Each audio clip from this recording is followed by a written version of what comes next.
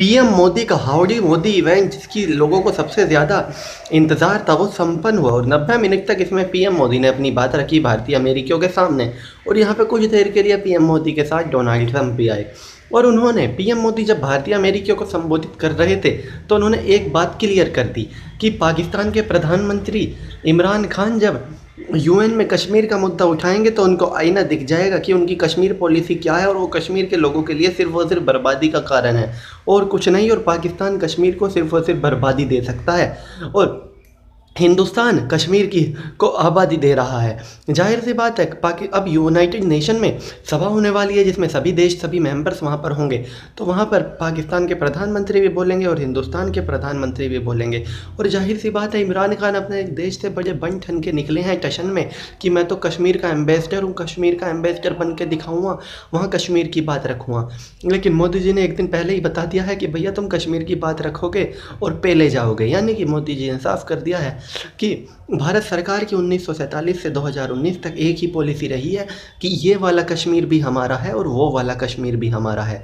अगर इस, इसकी तरफ़ ज़्यादा दिखाओगे तो हम उसको भी ले लेंगे। ज़ाहिर सी बात है, भारत सरकार की इस पॉलिसी की वजह से ही पाकिस्तान बैकफुट पर रहा है उन्नीस सौ सैंतालीस से लेकर 2019 तक और पाकिस्तान हर साल कश्मीर का मुद्दा उठाता ही है। लेकिन हर बार क्या होता है, पाकिस्तान का सबको पता है, उनकी कोई सुनने वाला भी नहीं होता। पाकिस्तान के इस वक्त हालात ये हैं कि पाकिस्तान की पाकिस्तान इंटरनेशनल एयरलाइंस अमेरिका में बैन है, अमेरिका में लैंड नहीं कर सकती। और पाकिस्तान के प्रधानमंत्री इस वजह से अपने हवाई जहाज़ से नहीं गए, बल्कि Mohammed bin Salman Saudi Arabia के क्राउन प्रिंस भीख में उधार में एक प्लेन मांगा, उसमें बैठकर वो अमेरिका गए हैं। जहाँ मोदी जी के सम्मान के लिए वहाँ पर बिछी हुई थी रेड कारपेट और अमेरिका के अधिकारी खुद उनको रिसीव करने पहुँचे थे। वहाँ इमरान खान के लिए बिछा हुआ था, उनकी बजट के हिसाब से लाल रंग का रुमाल और उनको रिसीव करने पहुँची थी। उन्हीं के देश की यूनाइटेड नेशन में रिप्रेजेंटेटिव मलिहा लोधी यह दिखाता है पाकिस्तान की इस दुनिया के सामने क्या इज़्ज़त है। एक उन्नीस के बाद से जहाँ पाकिस्तान ने एक वक्त अमेरिका से दोस्ती की थी, भारत ने की थी, सोवियत यूनियन से।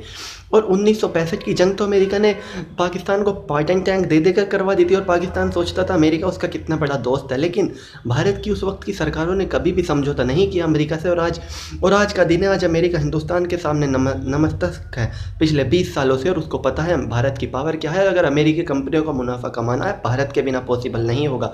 और यही कारण है कि बेचारा पाकिस्तान का कोई बड़ा देश सपोर्टर भी नहीं बचा। चीन भी पाकिस्तान का खुल के सपोर्ट नहीं कर पाता। ये औकात रह चुकी आज के वक्त में पाकिस्तान की। तो चलिए दोस्तों, मैं राहुल चौधरी। फ़िलहाल इस वीडियो के लिए इतना ही। आगे भी इसी तरह की देश, दुनिया, बॉलीवुड और मनोरंजन की तमाम खबरों के लिए बने रहिए मेरे साथ। जय माता दी।